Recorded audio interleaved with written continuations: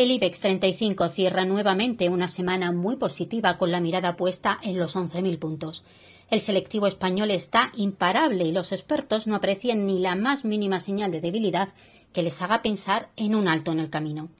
A nivel empresarial, el protagonista de este viernes ha sido Grifols, después de que la Comisión Nacional del Mercado de Valores publicara anoche sus conclusiones sobre las cuentas de la compañía, con una de cal y una de arena. El regulador ha avalado las cuentas y el endeudamiento de la farmacéutica, pero ve deficiencias relevantes, por lo que ha exigido a la empresa que corrija varios aspectos relacionados con la falta de información. Asimismo, Banco Santander ha anticipado beneficios superiores a 12.000 millones de euros en 2024 y el reparto de la mitad, 6.000 millones, a sus accionistas a lo largo del año.